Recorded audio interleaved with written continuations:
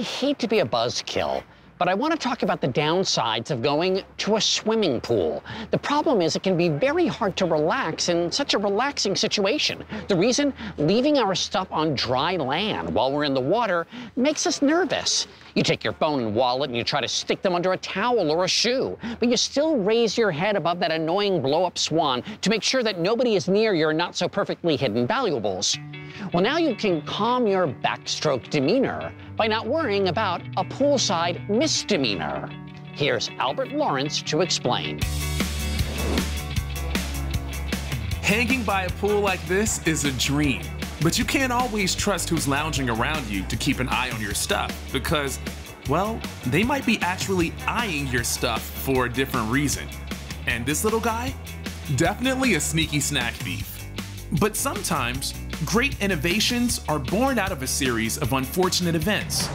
I headed south to Miami Beach, Florida to meet Jonathan Kinas, a financial advisor turned inventor who came up with a security device to keep your valuables safe at the pool or the beach, and he calls it AquaVault.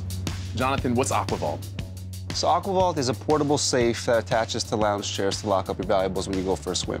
You put in your cell phone, your wallet, your keys, your jewelry, okay. Um, anything that you really bring to the pool that is of value that you want to make sure is not a target for the thief. How in the world did you identify that this is a problem that needed to be solved? So simple. uh, I had my valuables stolen at the pool.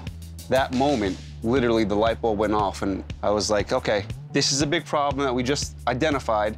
How do we create a solution for this problem? I started going hotel to hotel to hotel, literally just measuring all the bars on all of the lounge chairs. Once I got those dimensions from the smallest resort to the large resort, I figured we can make a product that fits around almost all of them. That's the direction we're going to take.